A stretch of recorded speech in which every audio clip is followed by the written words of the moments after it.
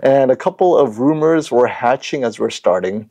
Uh, for example, the rumor that the XR80 is going to be an OLED TV and that maybe Sony is dropping its WRGB OLEDs altogether. Again, rumors, nothing is confirmed. Kasi is convinced that Sony will not have a 2024 LG display WOLED. We'll see. Maybe, maybe that's true. It wouldn't surprise me. Wouldn't surprise me. Which means maybe we'll have a couple of different types of QD OLED, or maybe only one type of QD OLED from Sony. But again, that's for the Sony stream coming up in a few weeks. This is the LG stream, but it's somewhat related to LG, right?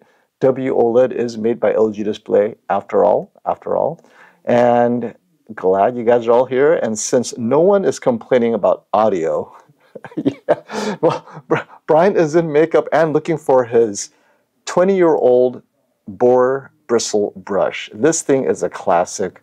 Can't find it, you know. Well, you don't have your boar bristle brush. Can't look good. Sorry. or he's on the floor looking at the price, right, of the G4. So let's get into a few things. LA, thanks, Getty. Audio is great. All right, all right. So this lineup this year, I think LG has done a few things that looks like it's kind of impressive. It has left an impression on me. So we're going to jump right in real quick with their top mini LED. So let's share it with you real quick right here. And one second. At some point, Brian's going to join us. And when he does, he'll jump right in. In the meantime, let's get into the QNED 90T. So it starts at 65 inch, goes up to 75 inch, 86 inch. So the prices are obviously very high. I was impressed by the QNED 90 the last time it was here. What did not impress me, however, was the contrast was slightly weaker than their VA panel counterparts, and it did not have the impact and pop of the ADS Pro panels from Samsung. So I'm hoping this year will do better, and I think it will, and this is why. This is something that's very interesting I want to show you guys. If you scroll down, right, they're doing precision dimming right here. This actually is similar, I don't know how similar it is, but its description is similar to what we saw at the Sony 4000 nit flagship mini LED, right? which is they are also precising, precisely dimming their dimming zones. Now, only two models in this lineup has the precision dimming, right?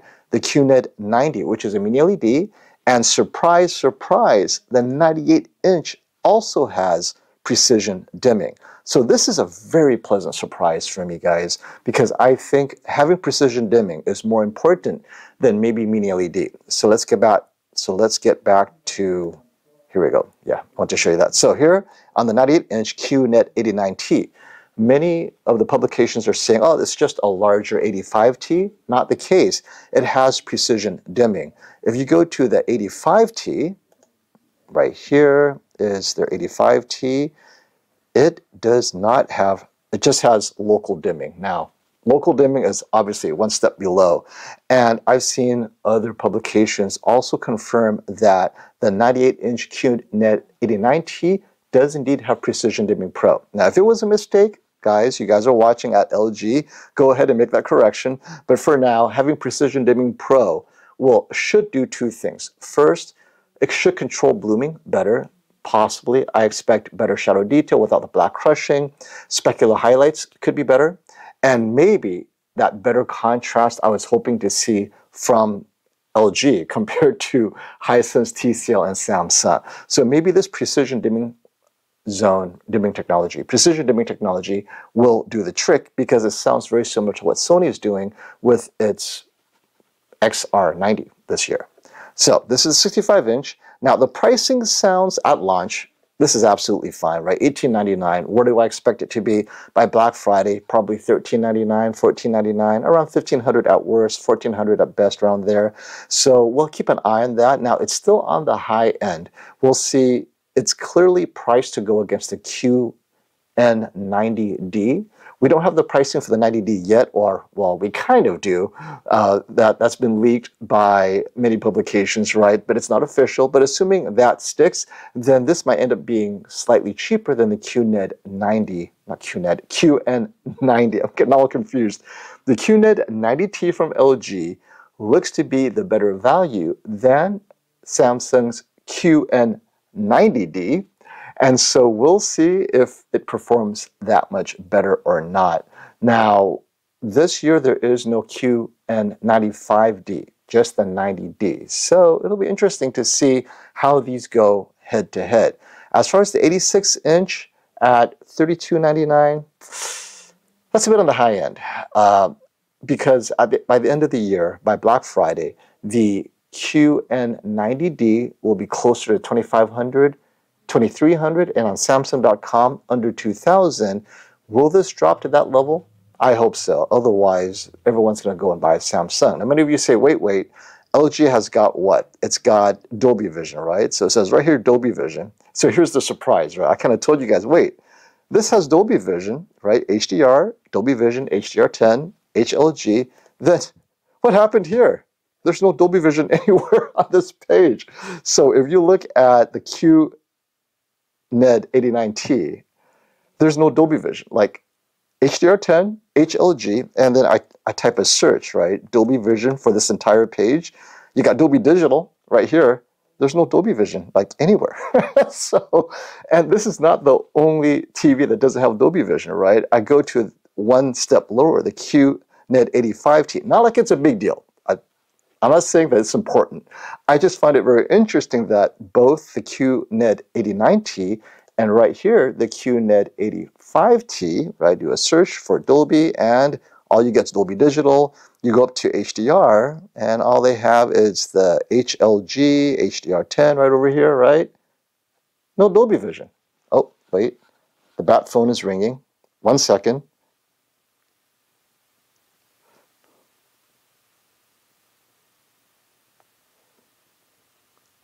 Let me put myself on mute. I think he may have found his boar brush.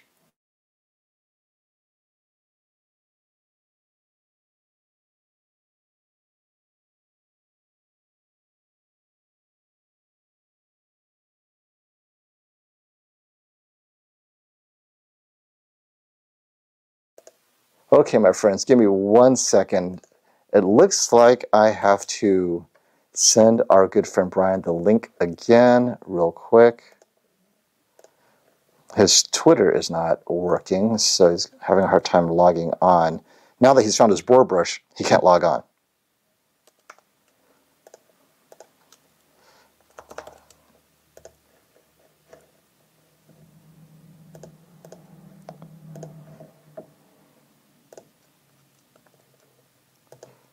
All right.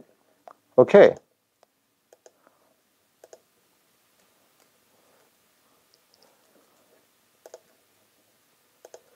Hey, thanks for coming by, Jordan. Watch the replay. Hang on. Good night. Okay, so let's get back to this real quick. You guys, guessing here, do you think it was a mistake that LG is not showing Dolby Vision on either the QNED 85T or the 98 inch QNED 89T and only on the QNED 90T? So I personally don't think it's a big deal if it was intentionally done. If it's a mistake, they have Dolby Vision after all. Okay, great, it has Dolby Vision. But either way, it's not a big deal. I it's very interesting. I just interviewed a guest uh, yesterday, Greg Lowen, right? He does post-production calibration work for the studios, and you know we went over his own personal TV viewing habits. I asked him, honestly, is Dolby Vision important to you? he started laughing. He's like, I can't tell the difference. So I watch whatever. I don't care. if my TV has Dolby Vision, I'll watch it. If it doesn't, it doesn't. Sometimes it, it feels dark to me. He has a, an LG OLED, right? Goes, but I don't care either way, right? I don't buy a TV because it has or doesn't have Dolby Vision. So, oh, wait, our good friend is here. Let's see. Is he ready? So, as Brian. I was saying, right? So, what I was saying. so, what happened? What happened? Dude, you man, tw- dude, Twitter, bro. Sign me out. Sign me in as somebody else. I couldn't even. I'm like all this technology. What's up, everybody? Hey, what's up, Brian? You don't, you don't stream for four, you don't stream. You miss one week, and all of a sudden the whole thing shuts down. Like really? Well, well, well you know, now that you're on, people will start clicking like. Like I, have oh, been yeah, starving sure. for likes. Like you know, Come hundreds of people love. on, and and no one's clicking. Like now that you're here, the likes will start going oh, up. I'm sure. But what's up? Michael? I, I was up, telling Tom? them. What's up, everybody? Remember, we were watching when we were at Sony, and Sony was showing off its precision dimming control on the the new mini LED. That's 4,000 nits, right? So. LG has something similar. They call it precision dimming on their mini LED and on their 98 inch QNED 89T. They both have it. Nice. But what's interesting, we were just talking about, is only on the spec sheet, could be a typo, so we'll get confirmation from LG, but on the spec sheet, only the QNED 90T has Dolby Vision. The two models below that, the 89T and the 85T, do not list Dolby Vision, but they list everything else HLG, HDR10. So, so I'm asking the audience do you guys think this was a mistake? It's a typo and they're just going to fix it later? Or did they really leave out Dolby Vision intentionally? Brian, what do you think? It's a typo. What? Yeah. Typo? Some, somebody just just like that VRR Sony. Wait, that was real, actually. so someone in Korea is running. Someone in Korea just got their job. Like, hey Frank, uh, did you remove the Dolby Vision? I did. All right, yeah, put it back. Oh my bad. I meant to order a cappuccino, and I ended up removing Dolby Vision. Or, or here's the other big rumor you missed in chat, and this is why you guys got to catch the chat, the pre-show, the tailgate, right? So Classy just shared the rumor mill is Sony has indeed canceled OLED. There is no W OLED TVs this year, only QD OLED. That's the word on the street. So, oh, wow. Brian, you have a collector's ADL item. ADL is a collector's issue. Is right the last, take, uh, right? Yeah, so you and Lisa are like, we have the last. Wow, that um doesn't make any sense, but okay. and Mizu, no, no, no. There is Dolby Vision on the LG OLED. See, this is how the rumors start. On the QNED, we're on QNED still. On the spec sheet, right? Like right here, I'm going to pull up right now so you guys can see, right? Right. So let's let's do this.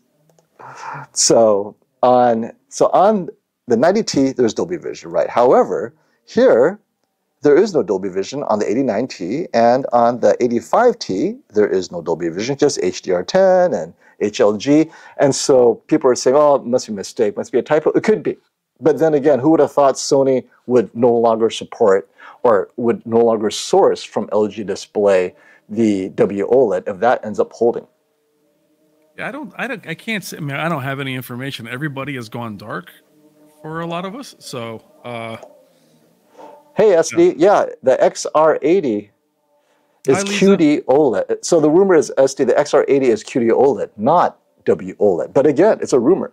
So Class C right here, and and I'm I don't know either way. I'm just throwing that out there. Class C believes that there is no W OLED, and just QD, based on the sizes and whatnot. But you know, SD, you too have your ground, your ear to the ground. Go out and let's find out if Sony indeed is not going to have W OLED this year and only QD OLED. I really don't know. Uh, I'm going to have to ask Sony when I see them in some point in the future. At some point, uh, you're going to have to get Rob Brennan on the bat phone, Brian. No, he does. I'm telling you right now, you know something's going on because I don't have any access. Oh yeah, yeah. You know, this is Brian. Brian has a list of questions for Sony. He calls all his Sony contacts, and when he gets back, an, an emoji of crickets, just crickets. Yep. I'm like, wow, crickets. did that actually go through? that go through? I guess it didn't go through. hey, Angelo Ginos, thank you for the super chat. Looking for an 85 inch TV in current market. I favor Samsung. I reached out to Brian to purchase the Q, purchase his Q95C. So, 85 inch current market right now. So you're not going to wait, right? Right now, you definitely have to get the QN90C or the QN85C. The 95C is probably going to be hard to get, probably expensive because it is at special dealers only, custom installers. You can reach out to Robert Zohn. I don't know if you're going to get a good deal, but I'll tell you, the QN90C at the Samsung.com website, you can get it for 2000 or a little bit less than 2000 At Best Buy, it's just above 2000 I suggest looking at the QN85C because you can get that for just under 2000 that's a really good buy. I mean, it's a great TV for that price. The yeah, if you favor Samsung, 85C, 90C, go for it. The VA panels, great contrast. Everyone who has it really likes it. Let us know what you end up getting, Angelo. Yeah, Angelo, I never actually purchased it, so that was. Well, he, he wanted to, and then he ended up getting that. Buy, you wanted to buy mine. Um, you can buy it from Robert. He may still have it. Um, it would be an open box, but see, hit him up directly. He may still have it. I never yep. purchased it. I mean, I was close, but I got the ADL instead. Hi, Lisa. How are you, my friend? Uh, she was waving so hard that her arm fell off. Now, now she's gonna have to try waving it again. Yeah, it's been a long day, but I'm here. Why am I so close and you're so far? What the heck's going on with our position? No, no, no. I can do that. No, I have a zoom. Watch this. That Lord of the Rings. There we go. Wait, wait, wait. Oh, what's up, Poppy? there you go. Do you guys go, that picture? Do you guys get that picture of me, KG, and Brandon together? People thought that was funny. Yep, yep. All right, so we're talking about LG. So catch me up. So, uh, Tech, uh, I call him Tech. I see his name. KG agrees with me. He doesn't think it's a typo. It looks like Dolby Vision is not going to be on the QNED 85 or the QNED 89. And again, between you and I, I don't think it's a big deal. I, I think if people don't care, it adds more problems than it solves, right? All the TVs above a thousand, above even eight hundred dollars, right? If you take TCL and Hisense into consideration, the way they do HDR10, phenomenal already. Adding Dolby Vision doesn't do much. And if you are a TV maker, right, and you got your engineers out there, and they're watching streaming, Netflix, comparing TVs, comparing Dolby Vision and HDR10, and they're like, you know, Samsung's not wrong. It all looks the same. Or it may even look slightly brighter in HDR10, but it's not worse. And at best, Dolby Vision looks slightly different, right? Slightly different. But unless they're side by side, it's indistinguishable. If you walked into one room, saw Dolby Vision of that same content, walk into another room, blink a couple of times, oh, it looks the same. And I think this ends up being very interesting because if LG continues with this theme, how many other TV brands will follow suit? I know Sony has no end to troubles with Dolby Vision, right, Brian? Yeah. From the A9G, which did not even have TV-led Dolby Vision. It was too dark, it was unusable, and all their TVs made in 2019 had the problem. And then in 2020, they added the Dolby Vision chip, still looked terrible. 2021, it started looking better, but it wasn't until the A95K did Dolby Vision look pretty good out of the box. But even now, the A95L continues to struggle with Dolby Vision, and this is a lot of money and resources to fix something that should be working out of the box because that's the promise of Dolby Vision for consumers. But for the TV makers, if they're going to spend millions, and forget the licensing, all right, let's put that aside, the resources required to get Dolby Vision to work. How about just lowering the price of the TV, right? I mean, get rid of Dolby Vision, drop the TV price by $200, not because of the license, because you saved on resources to get the darn thing to work. So, I, LG, I applaud you. Please continue with that. I, I'm not a big fan of Dolby Vision. I mean, if it's there, great. But if yeah. it's not, we save money across the board. You guys save time and engineering. Well, and for Dolby Vision, I mean, that was something that since about 2016 we all rushed and wanted and needed. Uh, the realities of it, its implementation, have been very flawed, and for some mm-hmm. people, it's all they can choose. So they're stuck; they have to go around it with a streaming device. Uh, for us, it's really I'm very happy the QNED line is back. I thought that was a big hole in their lineup. I thought it was too reliant on their OLEDs. Having the QNED back, the 8K, the larger one, hopefully they go with the 100 inch or 98 inch. I think it'll be a huge winner. It's where the um, industry's going. Mm. Oh, wait, I, I misread KG. He doesn't, he thinks, I think it's not a typo. Oh, wait, I didn't know the QNED 80 didn't have Dolby Vision. That tells you how much I know. Oh, we didn't spend a so lot of time with there those. you have it. Yep. Now let's let's give it some balance. Some people do like Dolby Vision, and and Paul has a good point. HDR10 is often too bright. Dolby Vision looks more natural. So Paul, here's something you have to consider. If a TV is in filmmaker mode, and that filmmaker mode is close to accurate, right? HDR10 and Dolby Vision must look identical. They both follow the same calibration against the same EOTF curve. Dolby Vision, the average picture level, right? It cannot be above what is demanded by the source. So if the source is demanding it to be bright and HDR10 gets it right and Dolby Vision is dimmer, that means Dolby Vision got it wrong, and vice versa, right? If it's supposed to be dim and Dolby Vision gets it right, mm. the HDR10 got it wrong. So filmmaker mode is supposed to get it right or close to right. One should not be brighter than the other. Now, the HDR10 specular highlights might be a little bit brighter. And when I say a little bit, side by side, I could barely see it. That's not something that's going to annoy you at all. Uh, so now Dolby Vision could arguably look darker because there's issues, right? The Hisense has issues getting Dolby Vision right. Now on the Hisense, Dolby Vision is too bright. so depending on your TV monitor, you could be too bright, right? So Paul, let us know what TV you have because the Hisense watcher is like, wait, my Dolby Vision is way too bright. And on the A95L, slightly too bright as well. So just just something to think about. And and that's another issue. Every TV does Dolby Vision differently. Whereas their HDR10, they all look similar in filmmaker mode among all the TVs. So this makes me think that HDR10 actually is easier to get accurate than Dolby Vision. I know, I'm just hammering on Dolby Vision today, but I, I just can't help myself. the Bright, no, I don't know if anyone's heard your opinion on Dolby Vision. What are your thoughts? I mean, we've talked about it again. It was something that I wanted for years, uh, but I wanted it because I wanted that 4,000 nit LED to push it. Um, typically, I didn't like it. Oh, to be honest, I didn't like the implementation on some of the cheaper TVs. If they had it, it was too dark. I didn't like that it also locked me out of my settings. I can't really change the image all that much. You'd have Dolby Vision bright or dark or vivid.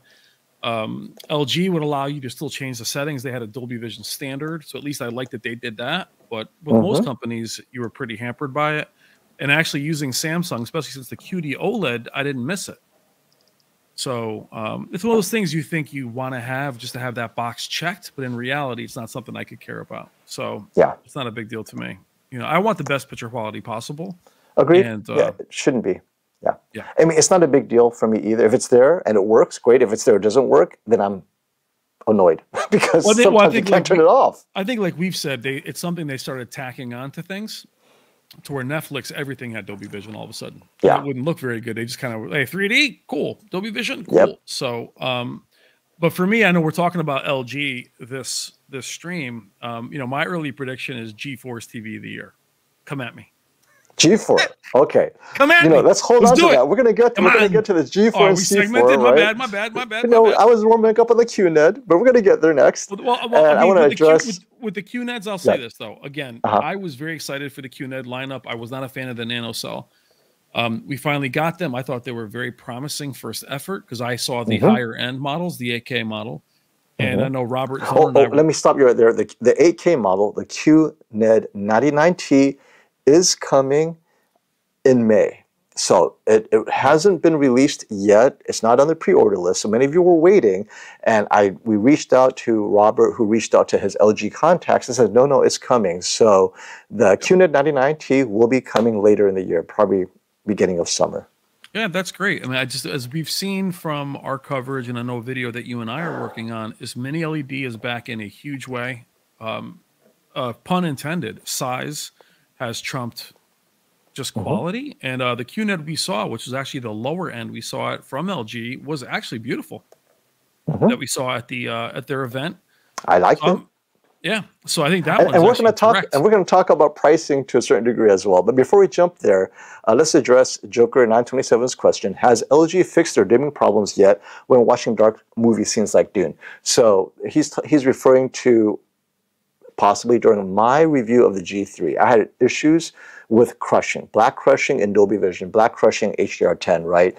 Uh, near black shadow crushed out. And in Dune, during that nighttime attack where they killed people and kidnapped people, uh, the it, it, my G3 is very dark, and I had to go in there and start playing with the black level details to, to raise it a bit. But it can be fixed with calibration though, and that's the thing. Most people who don't calibrate, they're going to have to you know raise or decrease their gamma or play with it in a way that gets the blacks a little bit higher because out of the box it, it is a bit crushed And it's not something that you normally fix in firmware. You're going to have to calibrate it out. And that's why Classy is here, right? He's, he's going around the country calibrating people's uh, G3. And uh, thank you for the super chat, Yanko Commander, addressing our comment here. Sony just fired 900 employees from the PlayStation division. I did not know that. That must mean that they're doing really well and they just want to take that money and not share it with anyone who works for them. They're on money saving mode. Maybe they're not WOLED isn't profitable for them. Okay, they're, so they're not they're not they're not connected oh, that way. But the theme though they're, different no. divisions, and that's the way corporate is now. You can, you know, it's they're they may have overhired during the shutdown. I mean, it doesn't quite work that way. In Hollywood, it does. You had a, a miss, Disney will fire people or whatever, but Sony's not letting go uh, of those PlayStation. They're not connected. They've never been connected but, like that. But there could be an order from above everybody clean up your product lineup. Yeah. This is what we spent in cost. We're going to give you enough budget to have only three TV models or whatever, right? Like let's say we have mm. five TV models in 2023. Too much money. You're down to three. Do what you need to do, three or whatever it ends up being, but less TV models, right? And as a result, WOLED. Now, it goes to the second question, Yanko, which is very, very good maybe WOLED isn't profitable for them. Or, okay, so QD OLED and WOLED, I don't know what their cost basis is when they source them from Samsung or LG. What I do know is that if they source it from Samsung, Samsung may have given them a sweetheart deal, which means, look, we need to get QD OLED out there. We are going to undercut and sell it to you at cost, meaning where LG Display sells their WOLED to make money, Samsung Display may be selling it so low that they're barely making money on it. And Sony's like, okay, you know what? We're going to lock in a contract with you for the next three years. Sell it to us at this cost. We'll take it. Whereas LG Display is like, no, no, no. But then look at what they did with Samsung. LG Display finally relented and sold at a lower cost than they were selling to LG Electronics. So ah, the WOLED thing, maybe it goes beyond profit because I think Sony's getting a good price for both of them because both Samsung Display and LG Display are struggling. So I don't know. I, I think Sony, if they were to choose between OLED technologies, they're just going to go with QD OLED. Oh, to what we're saying, why have, okay, consumers don't recognize the difference. So let me ask you, Brian as a, as a person representing real tech for real people, when you hear OLED, you understand OLED is different. But do you know really WOLED versus QD OLED? Do you care? As long as it's OLED, what does it matter? And then if Sony's to say, okay, we're just going to sell OLED, if it's only one technology, then which one would it be? Why should they split their OLED technologies? Why not well, unify into one? Well, I think uh, if they're going to follow Samsung's plan and say, hey, look, the 83s are going to be WRGB OLED and the 42s and the 48s. If they want to do it that way, we talked about we don't like that practice because they are catering also to director's intent and the enthusiasts is like, who are you going to cater to? Do you want enthusiast or do you want the common person? Samsung is good at kind of placating both of them to a degree. Um, I don't think Sony is in that way. I don't think they would want to do that. I think they'd want to have it pretty clear. Though, uh-huh. you know, would anybody have known that the X93 didn't have XR clear if we didn't talk about it? Probably not. True. And most people, most people who buy the X95L don't even know it has XR clear. because no, right? yeah. So yeah, so we probably point out a lot of this, and so do the forums and everything else. I just think that um, let's go back to the PlayStation thing. Uh, right now, the gaming companies are letting off uh, Last of Us. Everyone. Yeah, everyone across so, the board. You know, uh, Respawn, one of my favorites, just canceled a Star Wars game. It's got nothing to do with Sony TVs or even PlayStation 5s. It's got to do with just the industry as a whole that's cutting back. So I appreciate what Yanko is saying. That's not has nothing to do with Sony. I'm sure they're having cuts as well. Um, as far as changing the lineup, yes, Samsung has something for everyone, but I'm sure that's very expensive and they have a lot of inventory left. They're confusing, actually. And to your point, I, I, know this is going to be a mostly LG stream, but Samsung is not distinguishing between OLED technologies either. When we talk to Samsung, they're like, the truth is, OLED is the best technology. We just call it Samsung OLED. We don't yeah. tell you and we don't care that one is WRGB, one's QD. We don't make a distinction. We have the S95D, it's our top of the top. It uses the best technology. Then we have the S90D, and then we have the S85D. They will not tell you which is WOLED and which isn't because it's not important to them. And I think Sony's taking the same approach. Doesn't matter what it is, we chose the best technology, we've chosen QD OLED, we're done. If it's not WOLED, whatever. Maybe next year it'll be WOLED, right? They want to keep that flexibility, I think. Thanks, great question, Yanko. And Iceman has a great point. Hey, Iceman, nice to see you around. HDR10 is often tracking more accurately than Dolby Vision tone mapping. I agree. Dolby Vision oftentimes undertracks EOTF if not accurate. Also depends on TV processing. So not a lot of people know. TV-led Dolby Vision, there's a Dolby chip on the TV. That's why it's called TV-led. But the TV maker has to make sure that chip is also calibrated. That's why all the different TVs have different things happening on Dolby Vision. So yeah, it's crazy. Definitely crazy. And Ryan, thank you for the super chat. LG 2024 pricing is so bad, more so for the C4. Okay, this is the segue I've been waiting for. So to wrap up, I think the QNED pricing, oh, and that's LG would like us to say QNED, not QNED, not but QNED. So QNED, I think the pricing is consistent with how Samsung prices their LCD, mini LED, QLED. They're very similar. The question is, do they perform similarly? Now, I'll just leave you with this, guys. The last time I reviewed one of LG's QNED, I loved most things about it, except it had bad corner bleed, which is a QC problem to me, a quality control, because some buyers did not have that issues, but many buyers did. And to me, that's a concern. So hopefully they address that. Otherwise, it, it will continue to be an issue. So Brian, are you planning to have uh, any of the QNEDs for review. I'm going to try to get at least the 90. I don't know about the 98 inch, but or maybe I'll get the 98 inch. Who knows? But for sure, I'll try to get the 90. What are your preferred? I, mean, I, I haven't I haven't spoken to LG at all, but I plan on doing whatever Robert gets into the store. So okay. um, it may be the mid to the higher end, which is fine. Um, but I haven't spoken to LG about any any models. Uh, mm-hmm. We'll see. But I mean, you never know. Maybe by that time of the year, it'll be later. I think it's better for them to stagger it that way. Um, but a lot of stiff competition this year from the other LED makers that are. It's going to be pretty strong. Well, I'll say this: looking at their QNEDs, my I'm most excited about this 98 inch. I know 7,000 is a lot of money. I don't expect it to stay at 7,000. Just like Samsung's Q80C ended up dropping to closer to $5,000. If they can drop this 7,000 to 4,000 with precision dimming, it's so hard though. I mean, so you're getting LG, you're getting its its solid gaming performance. You're going to get well, you're not going to get Dolby Vision if that's important to you, but you're getting WebOS rather than Android or Google TV, which would be on the TCL and the Hisense. So TCL and Hisense will have TVs that cost three to four thousand, possibly performing very similarly. How compelling is this TV to you, Brian? Now, at 7,000 is a bit expensive, but maybe at four or 5,000 for the LG WebOS. What are your thoughts on 98 inch? 98.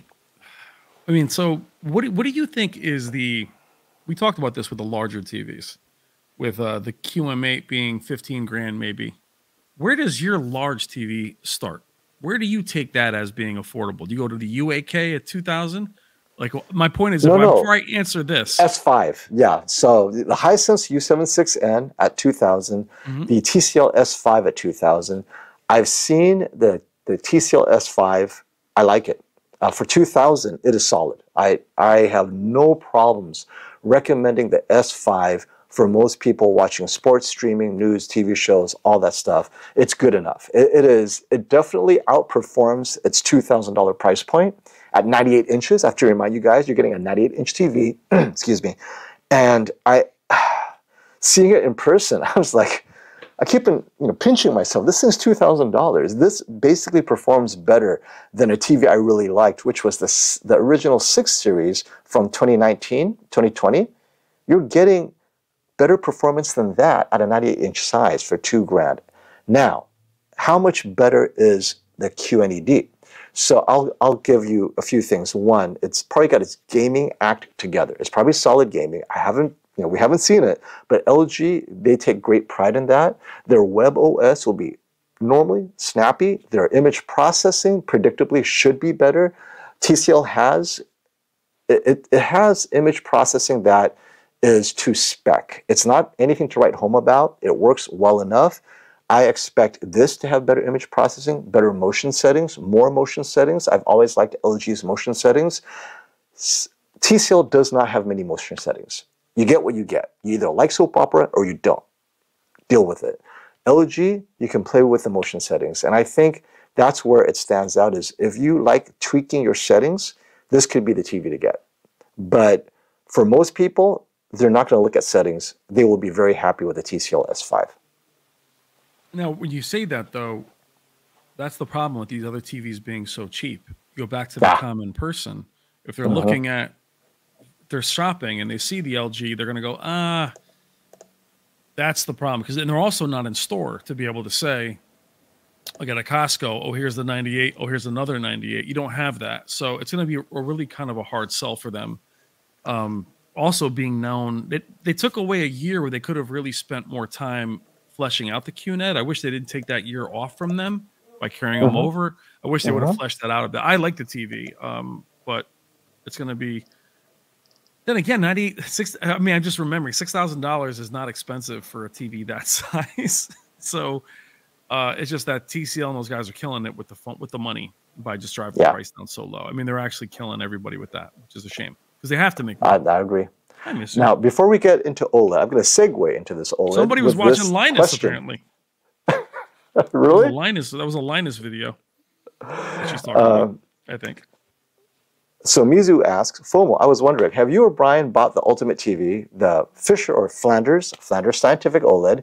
It can do full 36 bits, so it should be able to do lossless video and match 35 millimeter. So this, so uh, Flanders Scientific has their OLED monitors. Here's the thing though, they are not using third generation QD OLED. So when I heard that, I was like, oh, Flanders. No, thanks. so if, if, I'm going to pay that much for a TV, I want the latest and greatest third generation QD OLED that could hit 3000 nits. So that, if I get one, it would have to be that. So for sure, I'm not going to get the current model. Not to dissuade any of you who need it for actual grading of movies and stuff, but for me, you know, if I'm going to pay that much, I'll just wait. But for everyone else who the studio is paying for it, eh, go ahead and get it. Tell us how you like it. All right, so now we're talking about the pricing of the C4 and the G4. So across the board, everything's gone up $100, right? And if we take a look at the actual prices here, and let's talk about that. We're going to start off with the G4. I think the $100 increase on the G4 is not a big deal.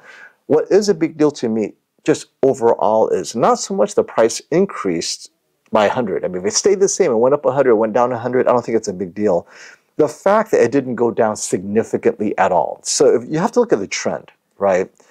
Hisense and TCL, every year, they are attacking prices by 15% every year and raising the performance level of their TVs to an incredible point and it just shocks me that LG has stopped aggressively reducing the price of its OLED. And I think they're at a point where they cannot do it anymore. So it's not so much greed. I think they've hit a point where, look, guys, this is as low as we can go. If we go any lower, we might as well just not make TVs anymore, right? And, and just give our whole TV department to TCL and Hisense to take over. So this is as low as it's going to go. But don't you before L- you but don't you think to yourself well, the prices of what OLEDs used to cost mm-hmm. not that long ago. It's been reduced so much. The the efficiency in being able to make them and the cost of making them has not gone down. So they're just losing money because the TVs were, I mean, I'm telling you, 77 inch C7 was 15 grand. So the fact that these TVs are being cut lower and lower and lower, I think their margins have to be. It's just very hard for a company. I, I can't say it's greed. I would just say they used yeah. to be able to make a certain amount of money, and without the other lineups to sustain it, that's got to be uh-huh. hard. They can't look at a mini LED lineup and say, okay, at least we have the 8K this. They have a Z series, which is very expensive. The M series, they have a lot of very high end, beautiful TVs, but I don't know. It's it's it's they're just in a tough spot, even though I think they're going to have the best TV in the year of the year. so yeah. I keep saying that. and we're going to go into the prices of each of these sizes in a second after some super chats. Thank you, Anime Facts seven two two seven.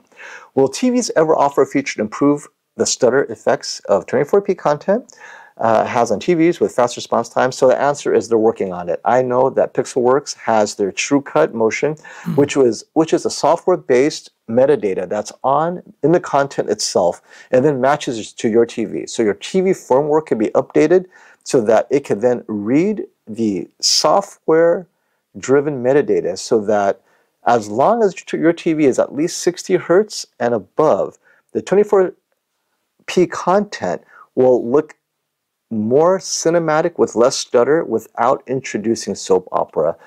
That's in the horizon. I know they're working on it. I'm, I'm getting leaks here and there about what TVs are using it, but I, we cannot share what streaming content is using it. But you guys are seeing it, right? Vision Pro is now using TrueCut uh, graded software, and they're trying to use it. Uh, I think Apple TV. I mean, a lot of these releases, they're trying to get TrueCut into the content side so that the TVs can then possibly upgrade their software. It doesn't require a chip, is my understanding. We interviewed the Pixelworks TrueCut team last year or two years ago. We're close. We're getting very close to eliminating stutter. So thank you for that super chat. And Tech with KG says, no Dolby Vision and no Dolby Atmos is unfortunate. Thank you for that super chat, KG. But the problem for QNED 85 or QNED 85 is that it's an edge-lit TV. Actually, it is a direct view dimming zone, full array local dimming zone. Now, Which one is the QNED 85T. So, what was the one that. we saw at the show? The one we saw at the show was the 85 inch. That was that was edgelit or direct. That was edgelit. Yeah, that one was edgelit. Yeah, this that one has local dimming, but there's one below that. So maybe you're talking about the one below that, uh, KG. Yeah, that one looked good. We saw the 86 inch. It, it looked fine. Yeah just like the crystal seven, eight, nine thousand all look great as well as the an edgelit in, in, a bright room. Saw KG. So, so the 85T does have local dimming. Now, how many dimming zones? Uh, we're not counting. We don't know yet. We'll find mm-hmm. out. Hey, are you going to get one, KG? Let us know. Thank you for that, buddy. C4. Okay. Ah, so let's get back to LG right here. C4 normally will face stiff competition this year. So this year, how about last year? so Getty, forget what you what you said, Brian. Forget this year. The S90C, last year's TV. You all know how much we, everyone who has it loves it. If you know, you know. My editor's choice of 2023. If the C4 is only incrementally better than the C3, the S90C is similarly better than the C4 as it was better than the C3, C4 has a problem going against a 2023 TV. So, what is LG's solution? You got to lower the price. I, it's okay you don't have MLA, but let's look at the pricing right now. So if we go down, 97 inches, 24,000. Okay, that's that's no surprise, obviously. If you have the money, M3 or M4, G4, 25,000, 97 inch, you pay for it. I think the M4 is going to be like 30,000 or something like that. The big disappointment is the 83 inch, and now we predicted this, right? 6,500. It's like, boom. We said between 6,000 and 7,000, split it right in the middle, 6,500. Realistically, it's going to be under 5,000 by Black Friday. So I'm you're probably paying. Pre- I'm definitely pre ordering that.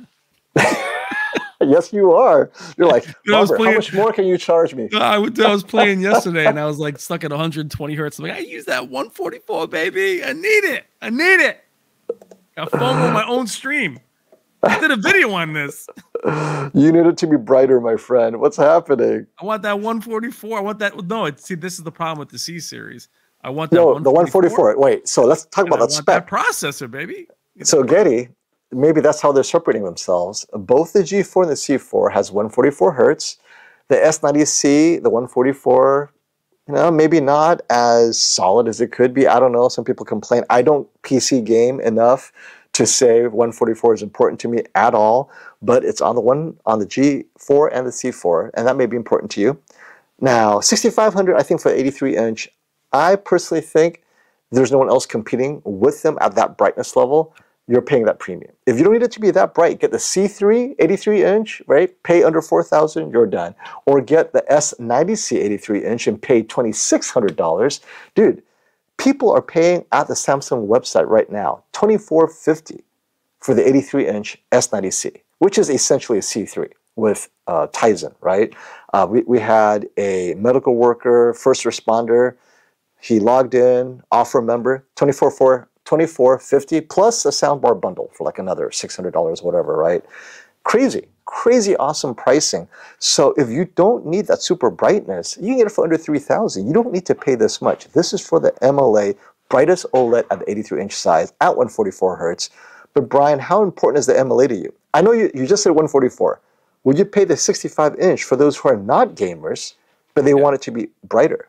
Well, because I want yeah? the MLA, which is improved. I also want the new processor. Mm-hmm. So I want that new upscaling. So it's, oh, it's let's talk I, about that. I didn't. I didn't not there. Did I miss? Did I? That no, much change? Talk about that. so it's not just. so, it's not just an MLA situation. It's not just a brightness. True. I don't. I don't predict the G4 winning because it's brighter.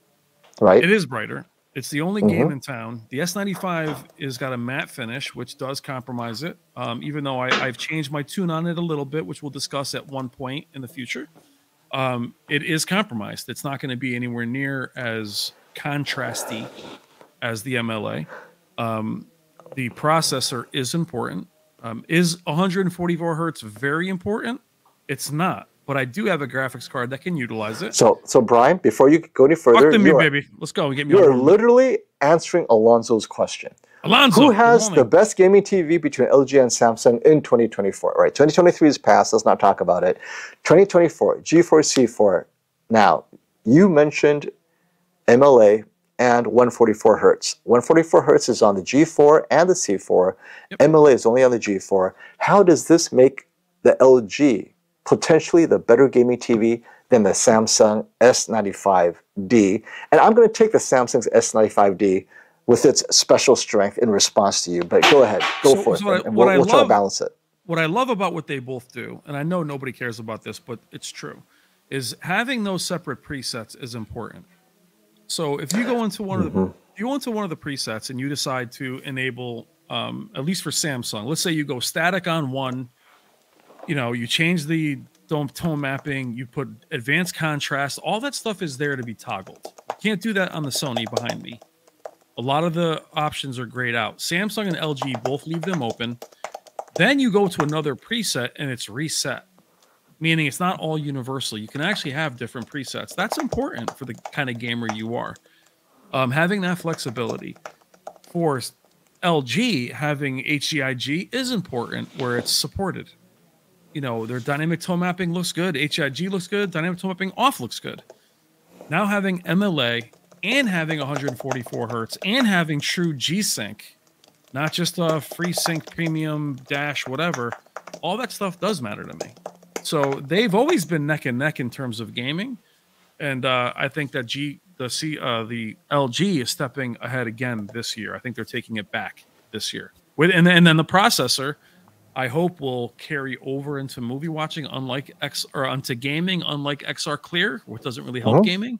I'm hoping the processor helps there. No one answered that question for me, but I think it's going to be the ultimate game machine. You add the brightness, you have HGIG, you also have Dolby Vision still. Samsung uh-huh. doesn't have that. They don't have HGIG. They have a form of something like that.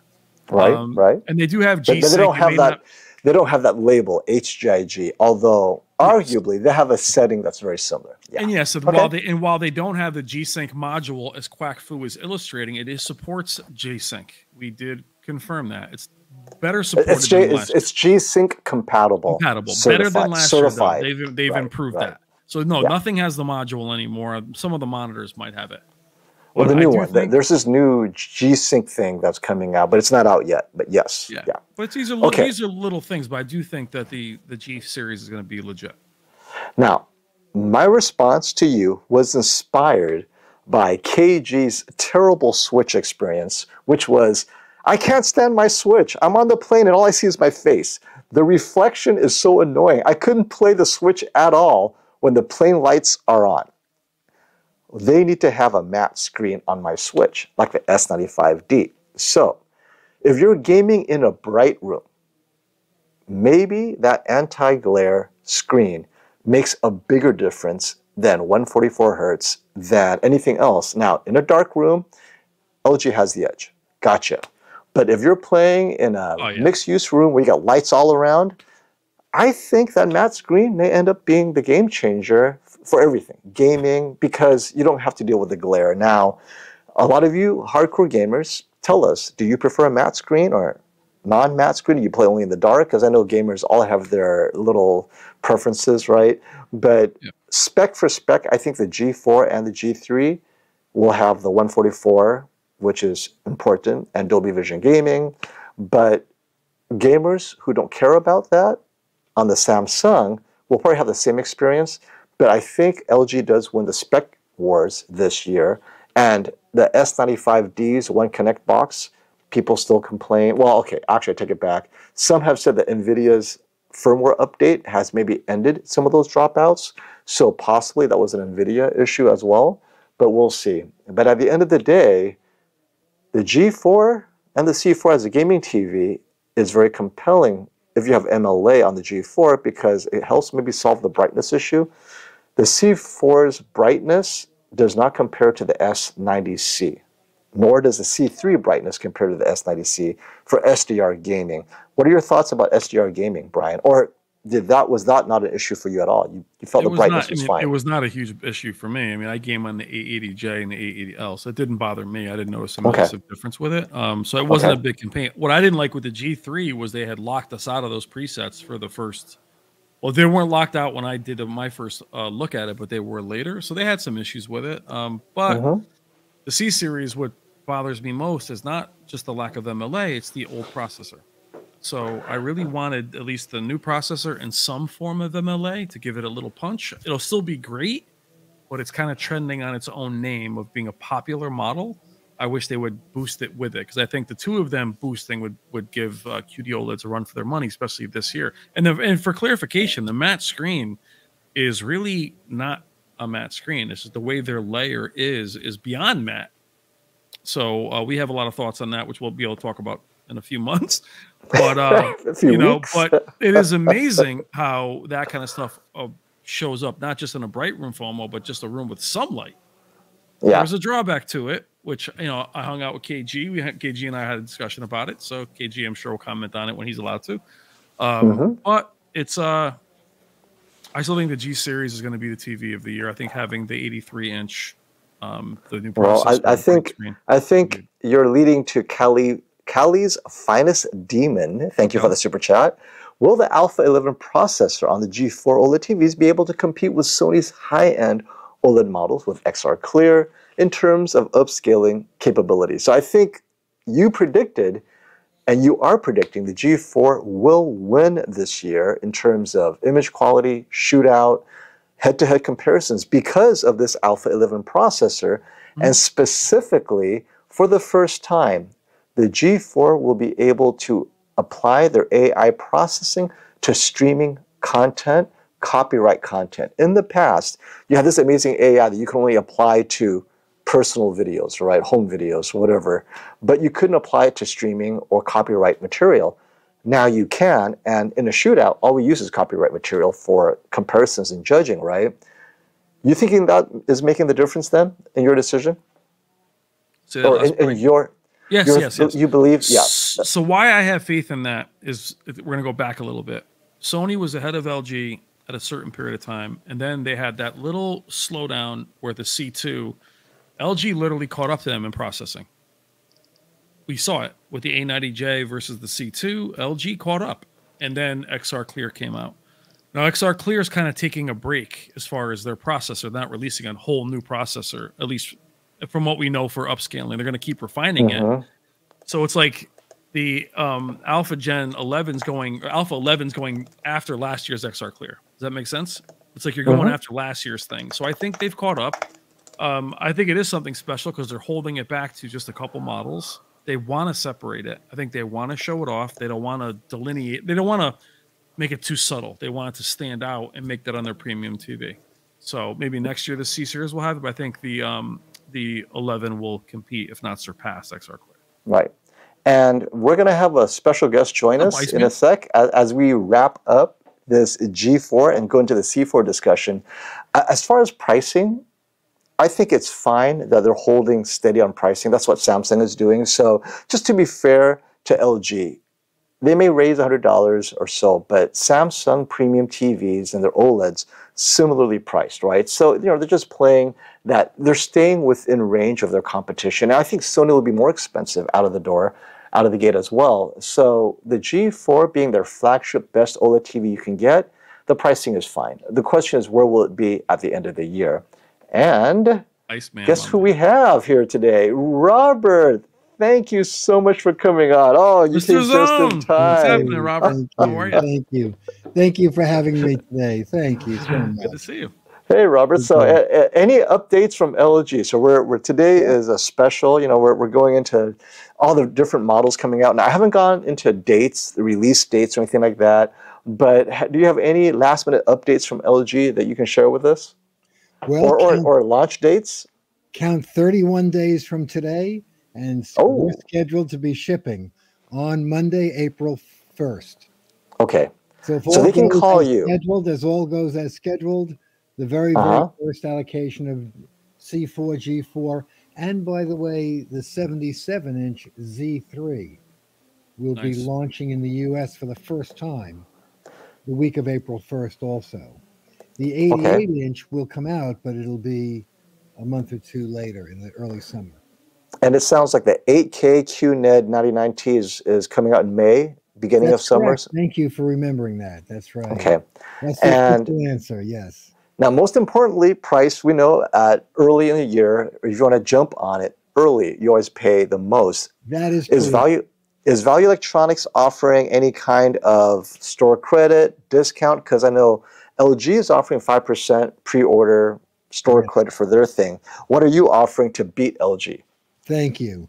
Well, we ship nationwide for free and we don't collect tax, but we also have a 5% store credit as well towards anything that you want to apply it to. Uh, so we're the same in that scale. And we're thinking about doing something a little extra. You always you always encourage me to do something special. Yes, always do something special, Robert. Yes, yes thank you. And I like that you encourage that. Because hey, you're on the side of the consumer. And that's a good thing. And that's a good thing. And I am as well. Yes, thank you. Okay, but anyway, so nice another nice big upgrade here. Who would ever think that I I am very impressed. Technology as much as they are, you know. I love that they they included the precision dimming technology on yeah. the 89 on the 98 inch, even though it doesn't have mini LED, I think that's more important than mini LED. I, I, find that mini LED to be more of a brightness thing. If you need it extra bright, more efficient, but that dimming zone control is everything. Now, oh, Classy brought up a question. I think it's kind of interesting. So AI will be disabled at the shootout. So Classy is referring to the G4's AI system that can be toggled on and off. But then my response, Classy, is is it fair because you cannot disable the AI XR Clear on the Sony? I'm gonna Come turn on, it back man. on. I'm gonna go buy the TV, turn it back on. you can't, you can't, you can't flip the switch.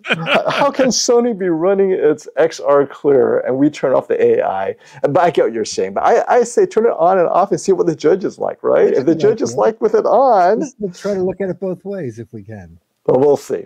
But yeah. come on, Now, because if Sony won't let you turn, and I know on the Samsung you can't turn anything off. Right? It's like almost all the processing is always running all the time. So maybe G4, the G5 will learn from this, and the G5 is like, oh yeah, all right, fine. You can't turn it off on the G5 either. We'll see. We'll see what happens if it comes back to bite them. I'll say we mm-hmm. connect it to the light switch, and I'll just go in the back and be like, oh, turn it on. turn it off. And and Classy is absolutely right though. AI processing makes it less accurate. If it is, it will be disabled. If it's, it would hurt it. And I thought it would have hurt the Sony. It didn't. The Sony won. So I don't know. It like, actually would have hurt it if we didn't do the out of the box um, streaming part. True. It it true. It helped it. in the streaming. So Classy, keep it on for streaming, right? Because I know I I recognized it was less accurate with the XR clear, and you couldn't disable it. And but I think overall it's still won because of streaming. So maybe leave it on for streaming so that it can at least match the Sony on mm-hmm. streaming content. So we'll see. and Don, hey, really, Robert? It's shipping on April Fool's Day. Now, Are we really going to get funny? it? I know. Please forgive me. I know. I didn't even want to say the date, but that's we promised. Told me. Told me. I know. I love it. The week of Monday, April first. Now, KG, KG brings up a good point. 2023 TVs are still relevant and very competitive. Do you have any 2023 TVs you want to get rid of, sell dirt cheap on promotion? Because I'm still recommending the X95L and the X93L. I yeah. think they're amazing TVs, yeah. uh, but at the beginning of the year, last year, it was too expensive. Now, are you? Do you have any promotions? And the X95L, by the way, is very hard to find, even at its pricing. Yes. But what do you have for deals as far as just liquidation clearance deals for your for Value Electronics?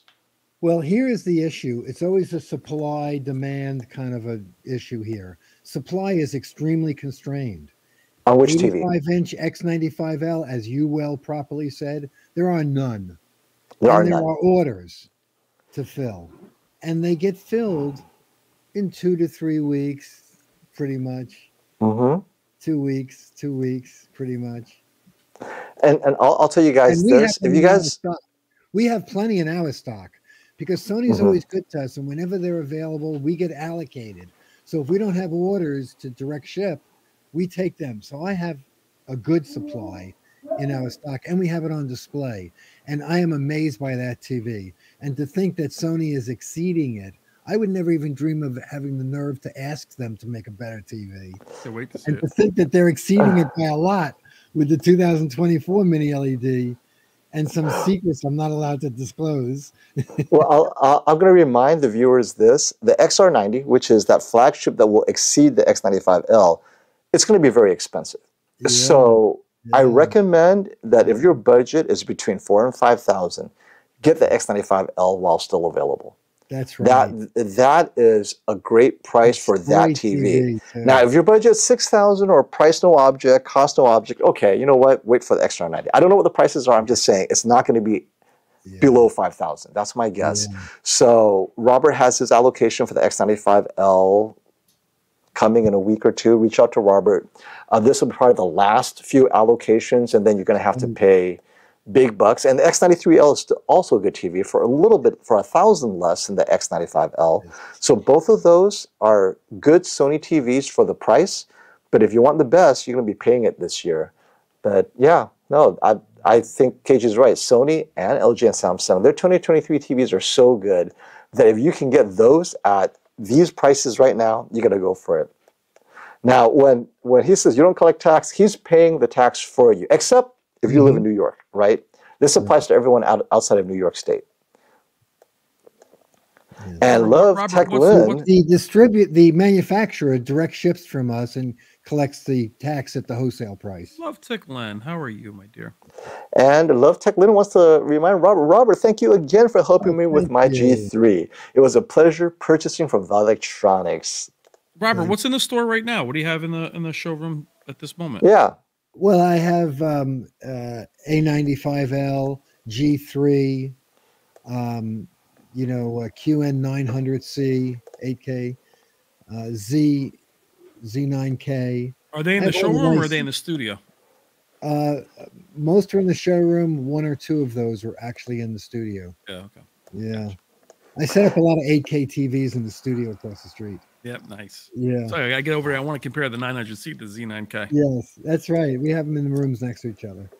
Now, um, before we jump to the C4, John Hooper has this very cryptic message, Robert. And now, if you missed our show at the beginning, we were saying that is this the end of WOLED? Because the rumor is, the rumor mill, and I know you may or may not be able to, sh- to confirm, but I mm-hmm. just want to let you know the reason why the audience is a buzz is because it appears that Sony is not going to be selling any WOLED TVs in 2024. They're going all QD OLED. Again, this is a rumor. This is what the buzz is right now. We'll see if the rumor ends up being correct. But if it is, what does that mean? Maybe that's why Samsung got a sweetheart deal on the WOLED LG display. The question I'm going to ask you, Robert, is do you have a preference between WOLED and QD OLED? You've seen both of these technologies, all their stages, from the very beginning of WOLED almost a decade ago to the QD OLED. You've been at LG's research facility. You've been at Samsung's facilities. What are your thoughts? I mean, how close are they really, in your opinion? Are, are they so well, far apart? QD OLED versus just WRGB OLED, not micro lens array. Right. Is is is more than splitting hairs, but it's not dramatically better. It's moderately better. Uh-huh. Now, LG Display's answer to QD color rendering is to put the micro lens array over their red, green, and blue subpixels. 33 million micro lenses, not 8 million, not 8.3 million. over the each one, so they so they help improve color saturation and color volume, just like QD OLED does. So it was a good solution, and it's still marginally, minimally not quite as good, but it's really close. It's, it's splitting hairs at that point. So the micro lens array is a good answer. And the regular RGB OLED is only a modest uh, difference in that it's not as bright and it's not as color mm-hmm. I think for MLA Sony again, answers all that. MLA answers all that. And I think for Sony, and this is kind of addresses what you just said. For Sony, assuming this speculation turns out to be true, the reason they would, they would only choose one technology is rather than dealing with WOLED, WOLED plus MLA, and then QD OLED, they could just choose QD OLED and get all the benefits of QD OLED without having to deal with a lesser WOLED without MLA. It just makes it easier for Sony to have a more streamlined lineup. So I think if they were told, hey, clean up your lineup, choose one OLED, whatever it is. We don't want multiple OLED models. Because in the past, right, they had a lesser WOLED, they had a better WOLED with a heatsink, and then this QD OLED comes out. So you have three different types of OLEDs. And if they were to choose one, QD OLED comes closest to that one without having to add one with and without a heatsink. So I can see why they're going with that. Now, on to the biggest concern that many people have, which is the pricing of the LG C4. And again, I thought the G4 pricing is fair as it will match head to head with flagship pricing. Mm-hmm. Remember, everyone, the G4 has the five year panel warranty. No other TV maker from any brand offers that, and it would cover burn-in as well. That mm-hmm. unique for the LG G4. I think that definitely contributes to the cost and well worth it. I mean, if you were to eliminate things like Dolby Vision or Dolby Atmos or whatever, having the five-year warranty is the one thing I would not eliminate. And that is what adds to the premium, so be it. That makes sense to me. Yeah. But the C4, on the other hand, does not have the five-year panel warranty. And it's priced, although we're used to this price because it's very similar to last year, it didn't budge much. It feels like it's going to fall behind Samsung's QD OLED and now Sony QD OLED this coming year because they'll be priced very similarly without the flagship side, right? Their mid-range OLED will be very similar in price. And it feels to me that this may be a bit high. So LG aggressively cut your prices to compete. What are your thoughts? Oh, let me ask you, Robert, as a retailer, do you get a lot of C4 or C3 orders last year or G3 orders? What was the more popular um, model lineup for you? Well, our customer appeal and customer base might be different than the average retailer because I'm one of those geeky nerds, and a lot of those other geeky nerds. Right, right. Only the best. And we do the TV shootout, and I evaluate, and I specialize more in the mid to higher end. So we do much more business on the G, but we saw a lot of C3s, and C2s were popular, and C1s were popular. Uh, so you know, it's it's just that our volume is more on the G series. And that is true. I, if you guys don't know, Value Electronics, so Tyrus, here's our chance to talk about where Value Electronics is located. Tyrus has a bar up in Buffalo. so he's down uh, several hours drive from you. So Value Electronics is in Scarsdale. Wasn't aware of Value Electronics before you guys, but I like independent merchants. I'll be giving them my future business, both for my home and my bar. Wow, and Tyrus likes his TVs big and bold. And I think he's going to be getting some nice TVs from you in the future. Yeah. Trust us when we say Robert works with you very closely to make sure it happens. And installation, all that, he's going to make sure it is well installed wherever you are. Now, here's something that I want to hit. Oh, wait, let me get to the super chat real quick. Bullman, thank you for the super chat. Do you think the processor in the G4 will be all part of their AI setting toggle or will it, will it be independent? Expectations compared to A95L. So the G4 has multiple toggles, right? So we've seen it. The one thing I really like is specifically they have a director's creators toggle that mm-hmm. acts very much like the XR Clear, that it makes the scene more compelling, more engaging. Mm. That could be independently enabled, disabled. They have other AI toggles that does other things, but that one specifically is the one that is going to affect the copyright material that we're talking about. That one could be independently enabled or disabled. So mm-hmm. yes, thank you for that super chat. And there's this one comment that I thought was worth mentioning. Someone was talking about having a U8K, and then he here we go, Nando, mm-hmm. John. I had the 100 inch U8K, but I returned it. I picked up the U76 at 2000. I'm extremely satisfied. This is the theme that I, I know it's going to go to the pricing, which is TVs are good enough. For most people, what they see with a $2,000 U76 and 100 inch is so close to the 100 inch U8K that they're like, wait, mm-hmm. why am I paying the extra thousand or 2000, right? And this takes me to where we have LG. What they see from an OLED now is so close to what they see from an LCD TV, mini LED, whether it's Hisense or TCL, or even the lower end Samsung, right, the, the less expensive mini LED. It's like, wait, why am I paying extra for a 75 inch a 77 inch OLED when I can get same price 85 inch mini LED and get the same image quality? And I think this is something that LG needs to recognize. I understand the G4 needs to be cutting edge. Go ahead and make that your premium lineup.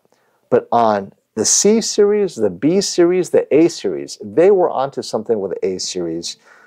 Stop improving your mid tier and your low tier. Drop the prices. Like do whatever you can to focus on, you know, alpha gen zero, right? Whatever you can, lower that price so that people have a reason to choose the OLED. Otherwise, they're going to go bigger because the image quality on quote unquote lesser TVs is good enough. But it's so big that they cannot not go 85 inch, 98 inch. And this is something that this is the year that the OLED TV makers have to recognize that and be willing to do what it takes to keep OLED's growth going. And that's my concern because the G4 is priced fine, but now, if C4, okay, you're priced here, then the B4, you better price it by half. What disappoints me is consistently, the B series is only $200 cheaper. Like, well, why buy the B series at all? I might as well just get the C series. It's only $100, 150 cheaper. Ridiculous, right? Then forget the B series and just give me the A series. That's $500. Like, I think the 77 inch A2 was 1400 that's what I'm talking about, right? At some point, that 77 inch was 1400, 1500. Now, I can safely say you're competing with a 75, 85 inch mini LED. So, what are your thoughts on the rise of mini LED TVs? Because you carry both models, Robert. How do you address your customers' desire for a large TV? Like, he's how do fine. you steer? I'll tell you right now, he's fine with it. Robert, we always say the TV's never big enough. I tell you, he's fine with it. well, ahead, um, as long as you have a good picture, this is what I do say. Yep. Size trumps everything else. We can talk about all the little differences in fidelity of colors and things like that, but uh, as long as it's a good picture, size trumps it. So I would always recommend, uh, in ninety percent of the cases, go with the largest screen if you have that choice. Mm-hmm you know, at a similar price or whatever. And um, with that said, also, I can't believe I'm even saying this. Please don't shoot me. And I don't know if this is going to be live or not, is it? It's live right now. It's, it's, it's just you know us, what? It's only, it's, it's only the three of us and a few people in chat. I don't know who these people I'm are. starting to like some of the mini LEDs. It's only 400 They're people. good. They're really good.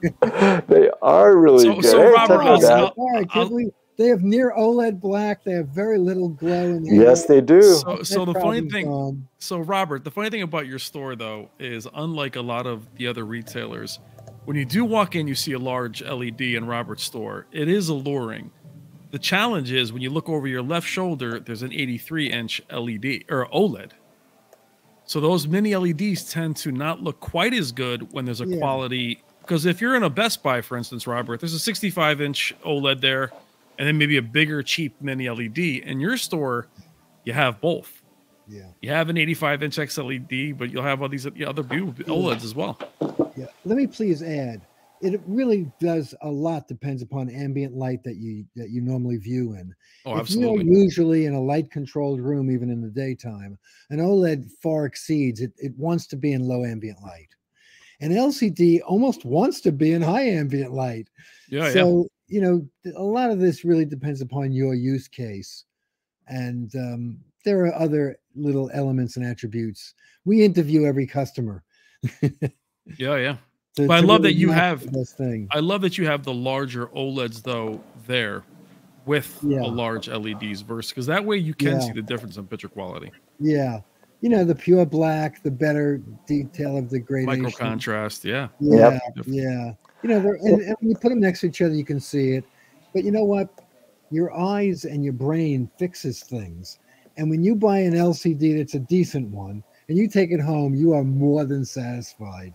And your brain makes the picture right and better, even. It really does. Yeah. It. I don't know if there's a way of explaining that scientifically or not. And, and also, people forget that when we do our comparisons, whether I review it or shoot out, it's like pitch dark Things are in yeah. slow motion. You yeah. freeze frame, you capture the contrast, and you you really have to pick through it to see the differences. But if you're just watching sports, you're like, wait, is that an OLED? Wait, is that an OLED? Right? I mean, yeah, some scenes of contrast it's obvious, right? But most people, if you take the OLED out, oh, that looks great. Now, right. speaking of a person who doesn't have an OLED, Fatal the Collector, thank Congrats. you for the super chat. Just question. There you go. Damn. He's got both the Q90C and the Q800C, both 85 inch. Mount or stand. Now, I'm going to say put it on a mount, put it on a wall. I, I like things out of the way. If I put it on a stand, that means I got to have a console that's large enough. I prefer a mount. Guys, what are your opinions on that? Well, Robert? Every single decorator and designer insists that we wall mount. We're not allowed to put a television on a tape countertop. Only pretty things can go there. That's I'm a stand guy. Second of all, I got to tell you, since we do that a lot because we're in this beautiful neighborhood here, I must tell you, I prefer it on the wall. I think, and especially an 85 inch large TV, mm-hmm. definitely looks professional and better on the wall. Now, it shouldn't be too high, but we could talk about those things later. Right. Um, I like wall mounting. It looks better. It is neater. Brian, I know you disagree. What are your thoughts? I don't disagree. I'm a stand guy only because I need to get that thing out of here. ah, that's true. It's convenient, right? Right. Okay. I mean, I think again, it's it's it's the difference between, and Robert can attest to this. It's people that are buying their forever TV. I would always mount it because I want it to hover above the stand if there is a stand. But the way we switch TVs out, it needs to be on a stand for me. So I, I would hang it if it was my forever TV. But we know we're not in the business of forever TVs, Robert. Yeah. Uh-huh. We're in the business of next year. So um, yes. the stands are are pretty elegant now, but uh, I think you know mounting it's great, but you know, but again, having a console lit for an 85 inch TV is tough. But center uh-huh. stand, so they both have center stands. You'll be fine. Yep. And, for, and for those who care about critical viewing, so I think this is also a discussion that, that we tend to have a lot. If you care about critical viewing at all, says Classy, just buy the biggest OLED you can afford, done. And the biggest OLED right now is the 83-inch S90C for under $3,000, or for under 4000 you have the C3 83-inch. Mm-hmm. But the question, though, is immersion versus critical viewing. This is what I say all the time. I understand critical viewing. I understand why cinema purists want it.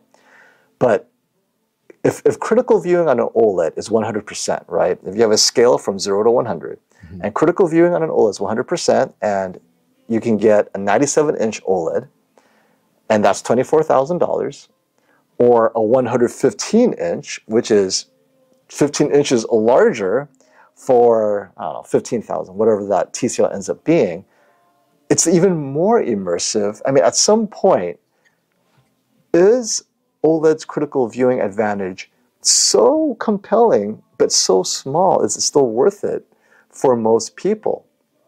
What are you, because I know, Robert, you are both critical viewing, but you also sell projectors and you also go big. Mm-hmm. Uh, how does your scale go? How does your personal scale between critical viewing and immersion, where the critical is just maybe a few steps lower? Well, you know, I do want both. But yes. you can get them with the high, high end selectively, carefully chosen mini LEDs.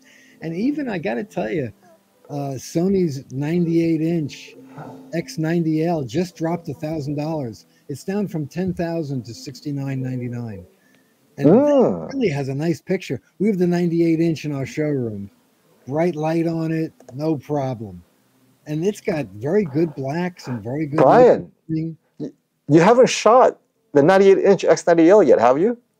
Yeah, I have. Oh, you have?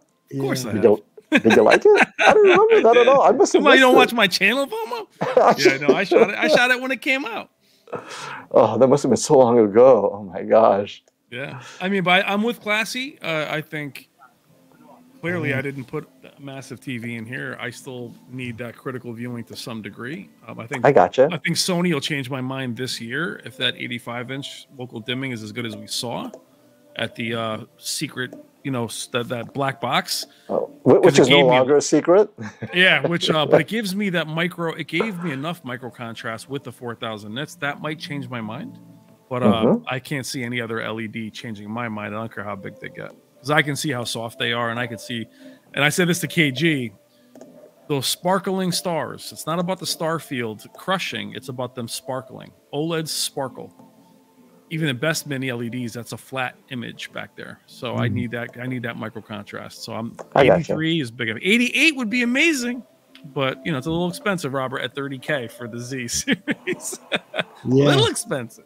Hey, I'm happy to see we're going to get the 77 Z3 also the week of April 1st, and then later, early, early, early summer, May or so, we'll have the 88 inch Z3. I'll be yeah. there. Yeah, yeah. yeah. Yeah, man. Oh, and any idea?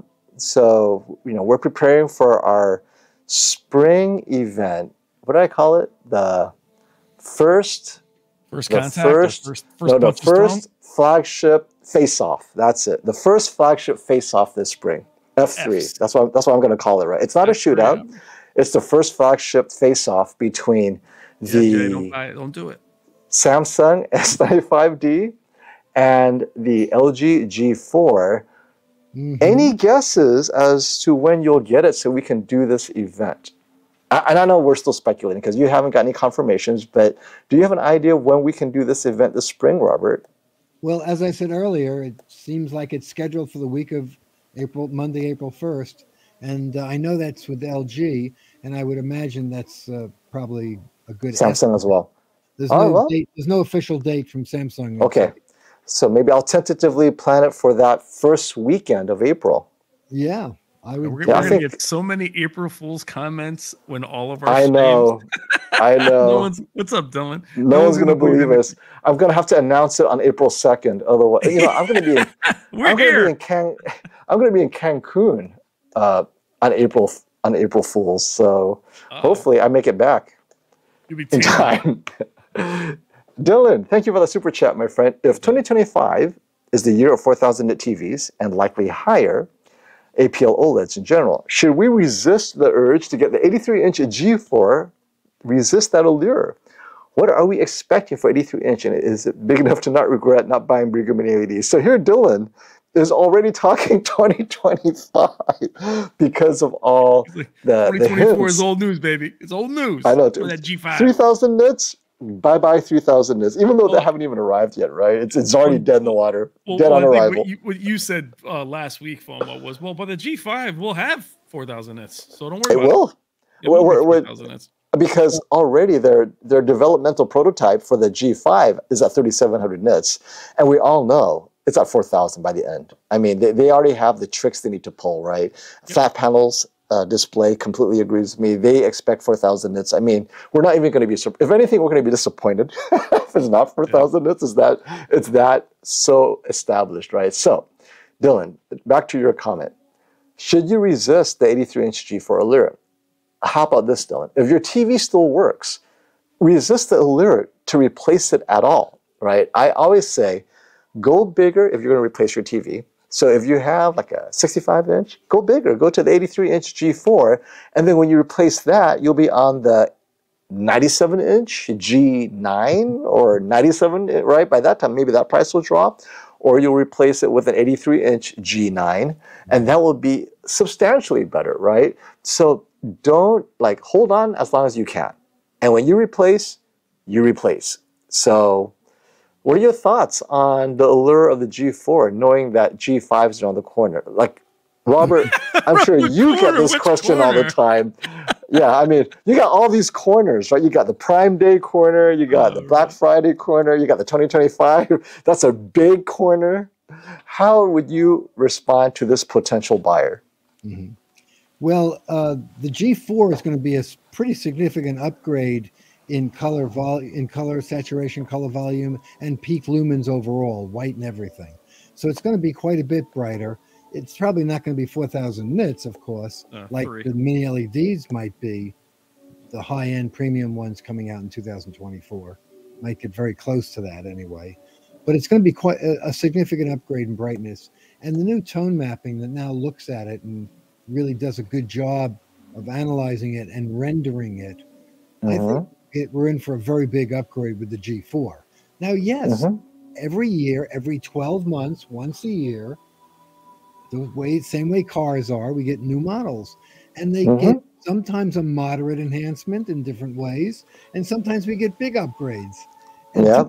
2023 and 2024 appear to be two years in a row with nice upgrades. And yes, you got some inside tip on 2025, which is 13 months away. Yep, it is. It's only 13 already camping out for April 1st, 2025. no, no, before we... it's something to talk about. It starts a discussion anyway. yeah. Before we jump on to the next question, I, I have to acknowledge this little romance blooming between Apple Jelly TV and uh, Tech with KG. Like, mm-hmm. I, I keep on seeing these little hands popping up. Like, are they holding hands? Is that what this means? Moving on. Awkward. okay.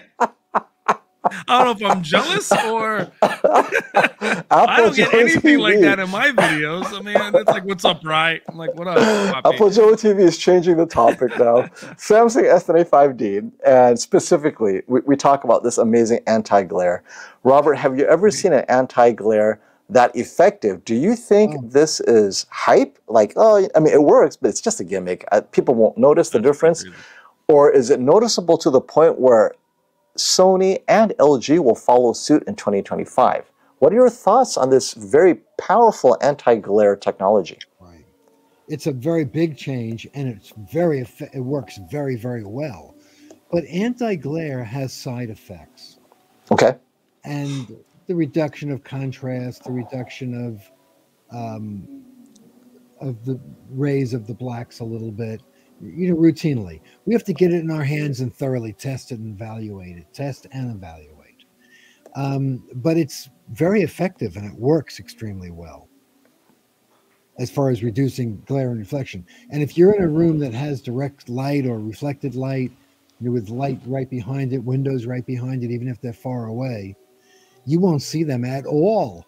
It works really mm-hmm. well. Yeah, that's insane. Yep. so You're right. it has very nice advantages in its need case if you need that. Well, you know, Robert, I, I agree. I think what's interesting about it too is that when the display is off, matte panels before were very muddy looking. They had a yeah. smeary look to them. This thing actually looks very premium off. yeah. it just looks like it doesn't look real. It's just yeah. black. so it might actually get away with looking good off as well. Yes. Maybe even better than the mirror of a glossy panel. I just thought right. it's that interesting. It doesn't. It's not really matte. It's it's almost like a felt. It feel. It doesn't feel like it, but it looks like mm-hmm. it's so black. It looks completely clean.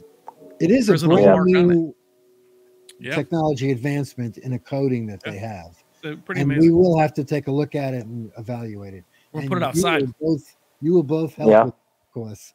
We'll put it in a parking key, lot. Not only help, you'll be key on that. We're gonna put it in the back of the Bronco and drive it around. Yeah, I put that on your short list, by the way. Yeah, oh yeah, we'll get down there. We gotta, I gotta get down there. I have to get down there anyway before it does. Yeah. So Ken asks, OLED or mini LED LCD TV? I mean, essentially that's what he's saying. G4 mm-hmm. OLED or mini LED. Now, I expect the prices would be very similar, right? The G4, so 83 inches, 6500. Sony XR, XR90 85 inch, probably around that price, close to that price. So let's say cost isn't the issue. Personally, I'm so used to infinite contrast. When the when the sizes are within two inches, I'd go with the infinite contrast. Not because the G4 has MLA per se, but most content I watch is going to benefit from the infinite contrast. Now, the XR90 is going to have that extra specular highlight push. I'll give it that.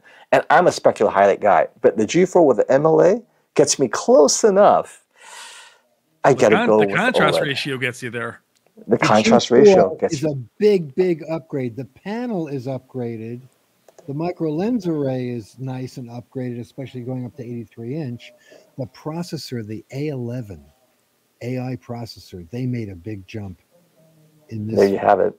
Thing for motion, for AI ups for uh, upscaling of cable and low resolution content. They really did a nice upgrade this year. It's called the A11 processor. It's AI processor. It's a big now, now and so is the is, panel, and so is the MLA. So this is a big year. Now this is us not having seen the XR90 side by side with the G4. Robert right. will have them side by side. Yes. So you know, we'll reassess when that happens, but my instinct tells me I prefer OLED at the end of the day. Yes. However, yes. and which leads us to this question, another OLED versus mini LED. Cypher asked, thank you for the super chat, Cypher.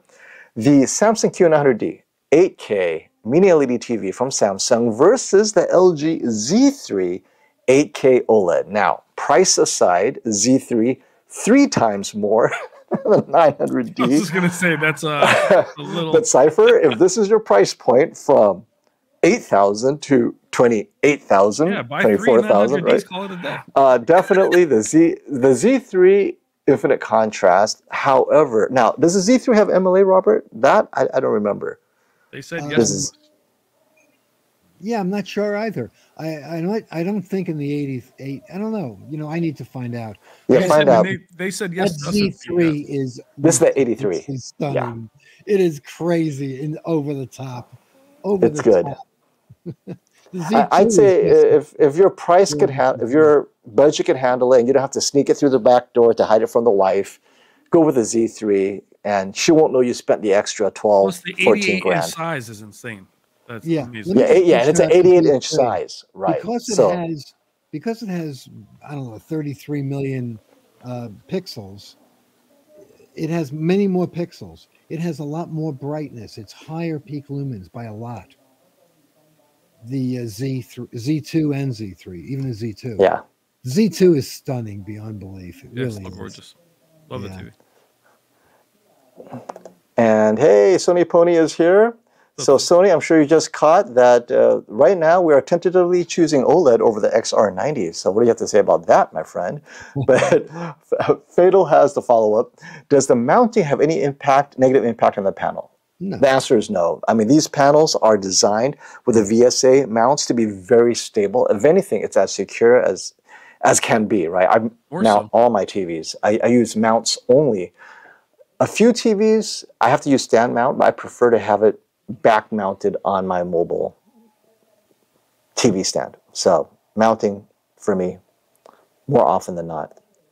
And now for everyone who isn't familiar, fake marketing nit numbers are giving people FOMO. Stop worrying about the nits. Hey, you know Easier what? said than done, my man. Easier said than Sony's Sony's walking around four thousand nits. Yeah, like, we got this grading monitor is four thousand nits, and I was on oh, four thousand nits. Is that the thing? But you know, Kasi is right. He's right. But unfortunately, everyone's talking nits, and Sony's not helping matters by telling people 4,000 nit content is the future. So I yeah, gotcha. but I mean, but but that and but they have a reference monitor doing this. So I, I understand what he's saying, but if we go by that, we shouldn't buy a TV but every five years. We got to go after these new process, yeah. these new upgrades. They could be little, but let's go after them. I know what he's saying, but let's go. Let's get it.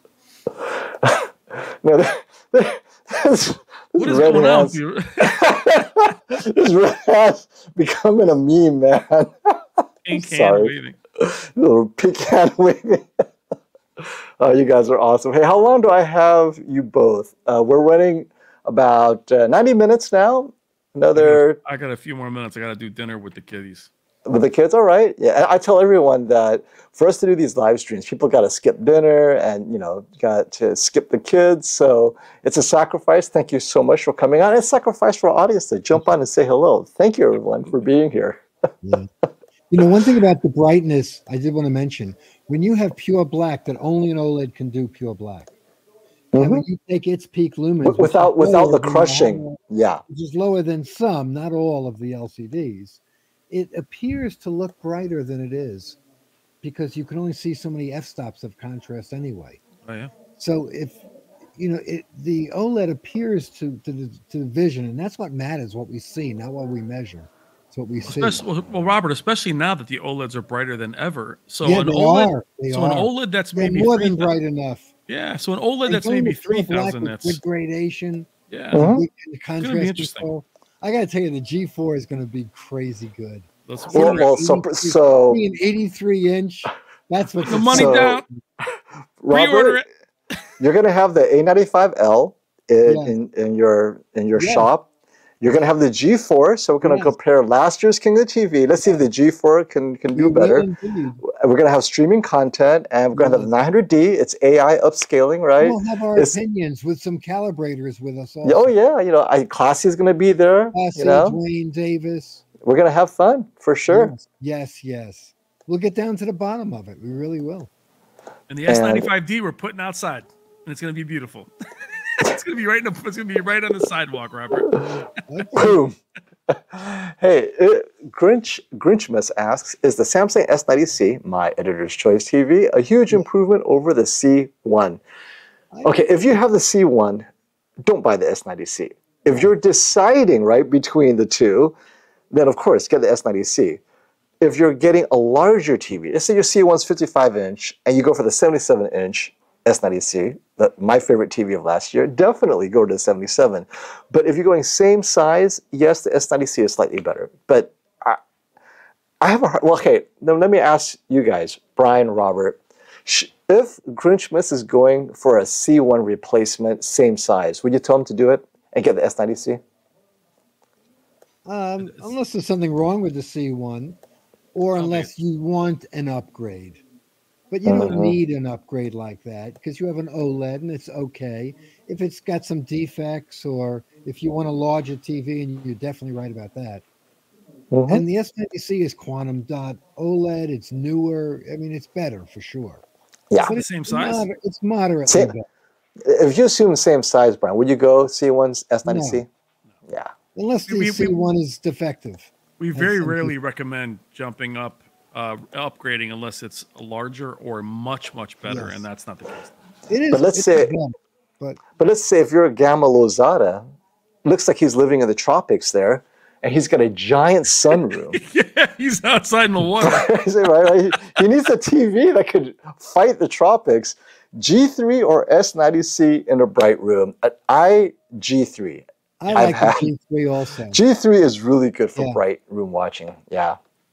I'm a big fan of the G3. I mean, you guys probably can't tell, but for most viewers, I normally recommend the G3 for many reasons. That most people actually appreciate the G3 for what it is. So yeah, I definitely recognize, uh, recommend that for you too, my friend. And ah, here we go. Here's another person with a C1. My C1 has 12,000 hours. I want to upgrade. If I only watch Netflix, Hulu, would a B series LG be more than enough? I'm going from a 65 to 77. Ah, if you watches Netflix and Hulu, I think it's fine.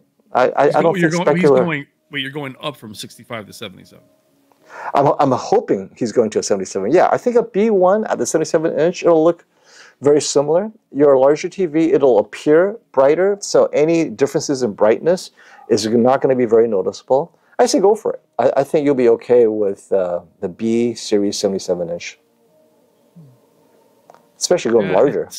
Yeah, Robert. Robert, Robert, and I are both like it's just so incremental. I don't want to ever see you go backwards. Um, but right, yeah. I mean, I guess, yeah, cool. Yeah, that was a very specific question. Twelve thousand hours. BBC series. Yeah, yeah, yeah, yeah. There you go, Ryan. I don't want to say. Yeah, and, and, the price is so similar. The yeah, the price. Yeah, you're not saving much money on a B series as we talked about before. Yeah, and it is a big upgrade too. Yeah, anyway. just call Robert. Let's see what he can do to match that B pricing. yeah, yeah look, Robert said. Robert. Goes, I'm spending uh, Robert's money. so Robert, the minute you said the B series, Robert just goes, huh. you know, would for it, but the C is a big, it's a nice upgrade. Oh, so Robert, uh, here's a good one. Now, this is a good question. 83 inch A80L, which is the TV that's behind Brian, or a 77 inch A95L. We'll start with Brian because you actually went through this exact decision making process. you have, here's your answer 83 inch A80L. And, and I mean, tell Jamie, why did you choose that over the king of TVs, 77 inch? Well, Robert, as we know, the 83 inch A80L is special. Um, it has the A90J chassis. Yeah. It has um, XR clear. It has all the body and sound that the A90J had. Um, you want to elaborate more, Robert? Um, I just think that that that size and XR clear, um, yes. I think beats the smaller 77. I love the A95L. It's my favorite TV last year. But if it was, if it, by answering your question, I would have it there. You know, for a room my size. So I would recommend that, Robert. Yeah. You know, a lot of it depends upon your viewing distance. Uh, the A95L is a little bit brighter also and a little more color saturated and does have a better picture. But uh-huh. um, as we all said many, many times, if you're getting a good picture, size trumps everything. Yep. For They're most so people, similar. For most yep. people, that is the right advice. For 99% of the people, that is the right advice. So I think yep. the 380L would be my choice also. Agreed. It would be, it would hey. be a choice. And I'm a yeah. Mm-hmm. Yeah, go bigger. The 83 inch OLED, I I agree with Robert and Brian. All right, Leah Braun or Le Obron, thank you for the super chat. Is the TCL QM8 2024 model way better than the 2023 model? It, we haven't seen the 2024 model. I don't dare say it's way better. However, I'll tell you this if its skin tones are more accurate out of the box, for me, that's a huge win. Uh, normally, the TCL QM8 or just TCL in general comes out of the box pushing red, pushing magenta. It's very hard to calibrate it out if you can at all. And so if 2024 ends up having more natural skin tones out of the box, that's a huge win. I'm not going to talk about brightness so much as that because I think TCL QM8 was an excellent TV to begin with. It doesn't need to get brighter, honestly, but you know everyone wants 4,000 nits. But the QM8 is technically going to be brighter, but that's not why you get it. Get it if it get if it has better image processing, better motion processing, and better skin tones. That's why you would get it, but I don't know yet. Uh, we don't get that TV until summer, so we'll find out. But the yeah, if they address the that, the seven is the big upgrade. With, I like the Q7 a lot. The big, the yeah. big jump is the Q7 will be like last year's QM8, maybe even a little bit better. Yeah. And last year's Q7 was great.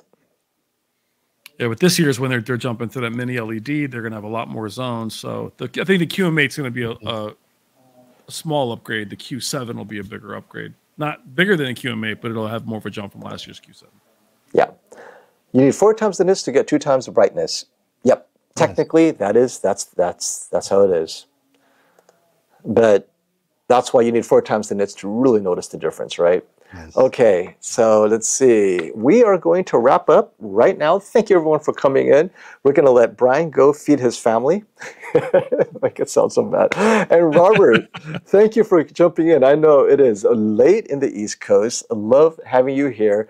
And everyone, we are expecting our first flagship face off this spring to happen early April. We'll get the exact dates for you once we confirm the TVs will be here. But it's going to be the G4 versus the A95L. How improved is the G4? And if he has the G3 there, we'll compare it to the G3 hmm. versus, of course, Samsung's S95D. How much better is that matte screen? And if we can get the QN900D and play with the AI, could be fun. All right. What's happening with you next week, Brian? What are you doing? Um, actually, we had it'll be I have no content this week actually. Like just, vacation, you know, which is the first time since January. I'm actually going to give myself the week off just because things are hectic here, um, so I don't force anything. But uh, we'll do a lot. We have a lot of videos planned for next week. I have to get down to Roberts at some point. I want to do like a Value Electronics tour of the mm-hmm. store and of the studio uh, yes. across, you know, to show the projectors. So got a lot of stuff coming, and then we have TVs coming soon. So we have a lot, lot of stuff planned. Yes, we do. And we're traveling a lot this month. We have a bunch of top secret TV events that uh, we're not allowed to mention. You know, starts with a T and ends with a Y type of thing. So. Mm. and Robert, uh, anything you'd like? Any parting comments you'd like to leave? Anything interesting happening at Value Electronics? Any new TVs coming in? I did like the Roku OLED from mm. Sharp. That review is spot mm-hmm. on. I really like that we have a Roku option because my parents prefer Roku over anything else. Oh, yeah. Or my, my other set of parents, right? My in-laws, they really like Roku. It's so easy to use. My other pa- my parents are so used to the Tizen. You know, once you're used to to a mm-hmm. certain navigation, you're not going to leave. So that's it. They're on Tizen. I can't change them out of Tizen. So mm-hmm how are how what is your impression of the Sharp OLED right now? Very nice. You know, we're enjoying that TV. I have it in stock and on display. And you know, they're very good with their processing. So they could take a regular OLED and make it look a little better than sometimes uh, some of the competitors just by putting in a bit of hardware and firmware in the processing. And Sharp is You have known, that on display, Robert, now? Uh, yeah, it's in the studio across the street. Yes. Yeah. All right, then. And with that, everyone, thank you for showing up. Until next time, stop the FOMO. Bye, guys.